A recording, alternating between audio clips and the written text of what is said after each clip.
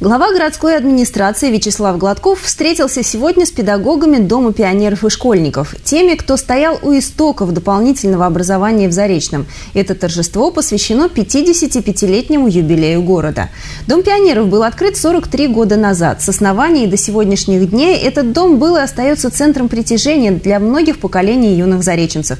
Пионерские линейки, творческие фестивали и конкурсы, летний загородный отдых, калейдоскоп интересных событий, жизнь, бьющая ключ ключом. В кружках и студиях развивали таланты тысячи мальчишек и девчонок. Лучшие традиции воспитания продолжают нынешние педагоги дополнительного образования, теперь уже Дворца творчества детей и молодежи. Правильно сформировать свое место и свое отношение к жизни, найти свое место в жизни. И вот вы как раз те люди, которые это делали, делаете, благодаря вашему творчеству, а, вы фактически ну, создали Заречный таким, как он есть.